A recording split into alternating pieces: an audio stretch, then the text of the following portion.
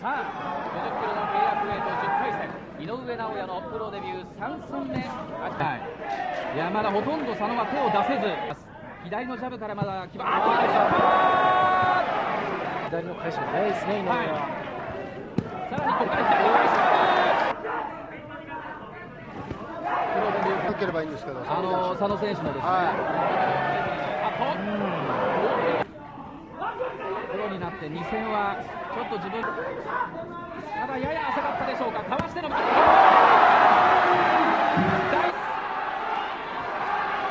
あ決めていくナイス左フック。ダメージが残っている。粘る狙っているか。ドリブル左から右。にかかるモンスター。リポートです。右を返すおナイスアッパーナイスアッパー1位左からの右早いですねナイスグラッとから指示が出ています。アウトコーナーサイドには鈴木義彦アナウンサーです。ですね。はい右ストレート打っていきたいですね、はい。あ今度はボディーブローから右フック、至近距離左。同感もあると思うんですねだから得意の右いいですかね。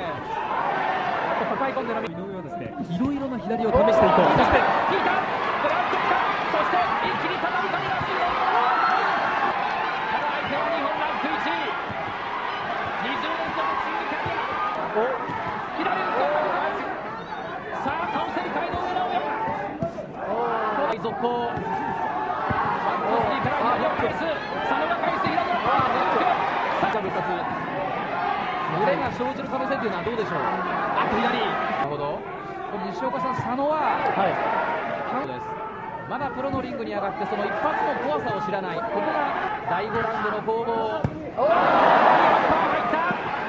左フック空を切るコーチは折れていませんボディー強烈あっとここにこれにカウンター井上選手はちょっとボディも交えていきたいですね。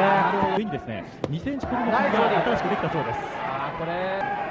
ジャブからジャブナイスジャブあー悔しそうに汗を拭います。佐野。一瞬井上がサウスポースタイルになって、あと右ストレート。おーナイス左フック。が入った。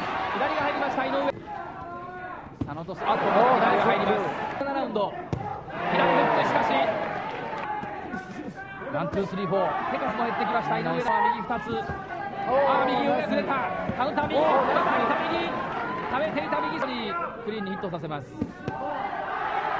前半かけて相手がパンチ出してもその後すぐものすごいスピードで返すのでええボディーブローから崩しに行こうというあーナイスナイストレートあー表情ゆですから今日も来ますまだ左今日勝つでも判定負けですノックアウト負けはまだ佐野勇気一度もありません一度も負けを喫してなるほど右のボディブローさあそして左の指示がトレーナーのお父さんとなる慎吾さんから飛んでい。ますですね、2度のダウンがありますもしかすると佐野のこの試合の記憶がないの真ん中をきれいに振り抜きますック左フックダウンを奪いながらも佐野の気迫の前にノックアウト勝利はならない。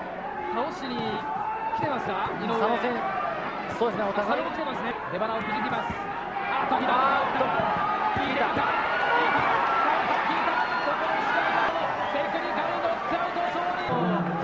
いてました。よねあー。もう左フック効いてましたねそして千原ジュニアさんいろんな意味で井上にとっても思い出に残る試合になったはずです